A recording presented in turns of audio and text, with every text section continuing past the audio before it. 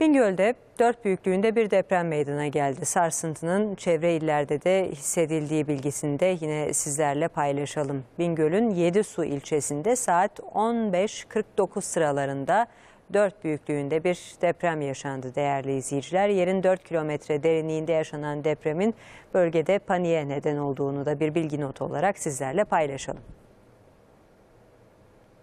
Sarsıntı çevre illerde de hissedildi.